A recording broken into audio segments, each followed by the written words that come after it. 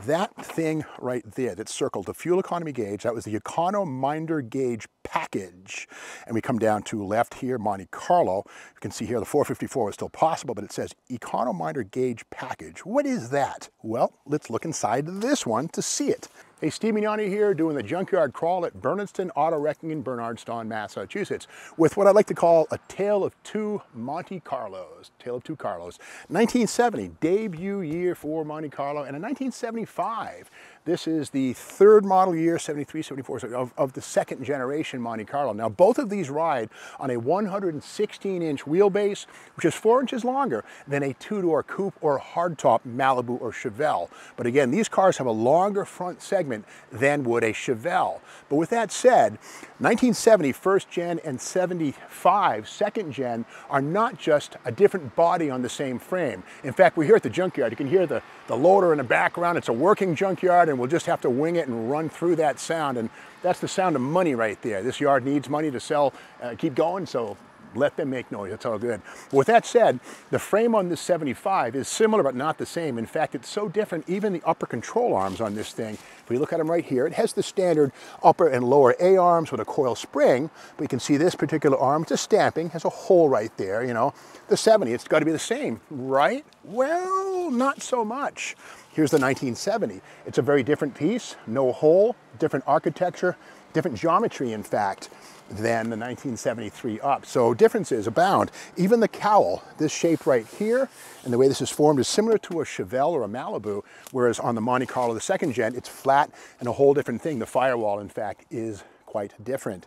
Uh, also, we see on the front frame horns of this 1975, here are those abhorrent or wonderful, you call it, energy absorbing front bumper mounts. These are meant to take an impact at five miles, five miles per hour and within 24 hours retract back to the original spot. And that's something that uh, was mandated by the uh, government to uh, reduce the expense of repairing cars, but also assumed that two cars hit exactly bumper to bumper. When does that ever happen? Don't know. 1970, of course, no energy absorbing bumpers on these things, purely good old solid frame horn.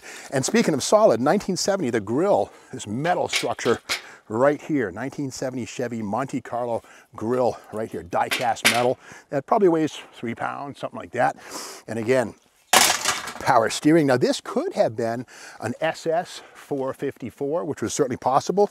There was even a 350 four-speed possible. There was even a three-speed manual in these things in 1970, 71 too. And yeah, in 75 you could, I think the four-speed was gone. There was still a three-speed on the tree that was possible for a base car. Speaking of base, this is the base engine for 1975, the 350 two-barrel with the Rochester 2CG. Similar carburetor to what was used on Pontiac Tri-Power GTOs in 65 four, and six. Believe it or not, that same carburetor, very similar. Uh, but again, this is a 350 two barrel. And again, we can see the magical Chevy small block rocker arms right here. These stampings here that ride on a, a ball and a, uh, a, stud, ball and stud arrangement right there. One piece does many jobs, simple, but these things are, you know, the backbone of hot rodding, small block Chevrolets. But again, this one here, low compression, mild camshaft. I think this might be 160 horsepower, uh, not a lot. There was also a 400 cubic inch engine, a 354 barrel, and for the final time in 75, the 454 could be had. More on that in a second. Now, if you want, Shane, come on around here, to the, around the front maybe, if you would. Uh, watch your step. We are at an active junkyard, or excuse me, automotive museum, and uh, we can see inside this one kind of cool stuff. Look at these. These are the optional color-coded wheel covers that would have made this Monte Carlo look even cooler. Now, you got to remember that in 1970, John DeLorean had moved from, Chevrolet, from Pontiac to Chevrolet, where he was general manager. And John DeLorean was the guy behind the 69 Pontiac Grand Prix, that long nose. Monte Carlo is basically a nice interpretation of the Pontiac Grand Prix with two inches shorter hood, uh, with that said. But, but DeLorean took his influences from Europe, and the Mercedes-Benz colored wheel cover was where the idea from this came from. So interesting to see them still in this car.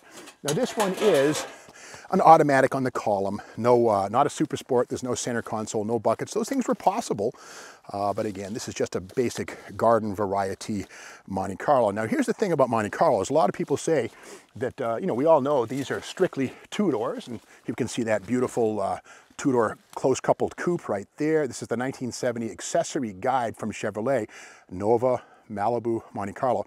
They never made a Monte Carlo convertible, right? Well, hang on a moment. This is crazy. You never know what you're going to find in Chevrolet literature. Look at that. That is a proposed Monte Carlo convertible. Somebody didn't tell the accessory division that that wasn't going to happen, but there is a factory illustration of a Monte Carlo convertible. Yep, they were thinking about it. I would dare say that probably some engineering mules were built, but it never reached production. Crazy, but true. Now this one does, does have, of course, the semi, uh, the vinyl top with the halo effect. The vinyl doesn't come around the side. You get a body colored lip right here, which is kind of cool you know, it sort of adds an elegance to the car. Uh, and we come around the back. And on this one here, let's play that little game. What's in the trunk? Let's lift her up and have a peek. Okay. And, all right, yeah a lot of trim. These are bits and things that are from this car that somewhere along the line somebody threw in here for safekeeping for future use. But here again is the underside of the deck lid with the original dark green metallic, beautiful paint. Uh, again, built at Fisher Body and then uh, uh, from here, it disintegrated and dissolved. Now, getting further down the line, 1975, this is a 75 Monte Carlo. Again, this is the second generation, third model year for it. And on these, Chevrolet actually expended some money on a more unique carriage roof with a peekaboo window right here. And again, that piece of glass is uh, abbreviated right here. Whereas on the Chevelle Laguna, the piece of glass is actually full size. It's covered by a piece of, uh, of metal, so they're kind of playing some, some trickery there. But this one here being a 75, this is the first year for catalytic converters. Also the first year for the energy saving system. More on that in a second. Because you got to remember, 73 was the OPEC oil crisis. And it took two years for Detroit to fully freak out and be able to react to that because they can't change cars in a week's notice. It takes two years. More on that in a second. But let's play that little game of what's in the trunk. Okay, yeah, and we see on this one here, the medium blue metallic still looking very nice under the deck lid. This is the most protected part on any car I've found. And this is kind of telling right here. This is this is the, uh, the long radiator uh, shroud. The fan goes inside of here. Again, you got to remember the Monte Carlo has four inches of extra wheelbase ahead of the firewall. And in order to have the engine not be so far back from the radiator and not draw, the hallway was made longer. And you can see actually that this is actually an extension that's added into the Chevelle style radiator shroud. This thing right here makes it longer and it's an add-on right there to what otherwise would be just a regular Chevelle. So there's your four inches right there. Wheelbase. Interesting how little things, if you're observant, can be learned. Now let's come around to this side here and make our way up. Now this car again, white vinyl top. Must have been a pretty classy car when it was new. Now, got to remember too that sales 130,000 in 1970. By 75, 258,000. So sales took off despite the fact that there was a recession on. And in fact, uh, inflation made these things about 25% more expensive than the 1970s. These are 6,400 bucks versus like 4,500. So 25% more expensive, but sales took off. Now, getting back to 1975, this is a Chevrolet dealer oh, supplement with the efficiency system update. And we can see here, the emphasis was on small cars. They had 22 to offer, including Camaro. Camaro was a small car. Hey, whatever it takes.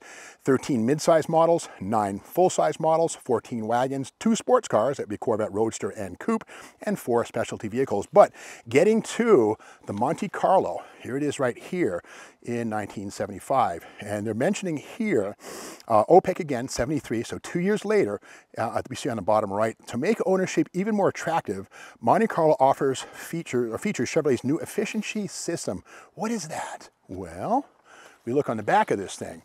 And this is basically Chevrolet's way of saying, hey, Uncle Sam says we have to have catalytic converters, unleaded fuel, and here it is. You're going to eat it whether you like it or not. So Chevrolet's new efficiency system included the key part of a program to make our new cars run leaner, more economically, run cleaner to meet federal emissions, and save you money every mile.